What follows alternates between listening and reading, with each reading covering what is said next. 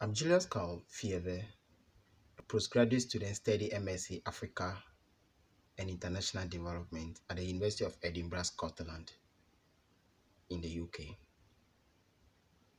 I believe that to ensure sustainable development, reduce poverty and hunger, and empower young people, there is the need for African government, citizens, private sector, civil society, and development partners to collaborate and invest to ensure social development, economic growth, and environmental sustainability.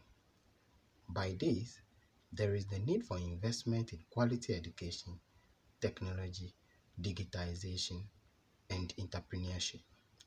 Young people of the continent need to be trained, coached, and supported to partner coordinate, design, and implement sustainable development solutions to deal with multiple challenges facing their communities, the country, and the continent.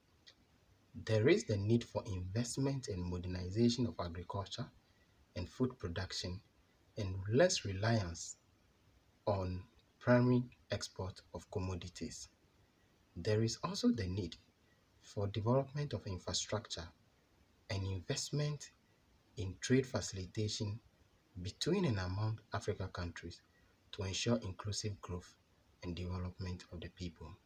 The private sector and government must work hand in hand collaboratively to ensure job creation and inclusive growth of the, of the economies.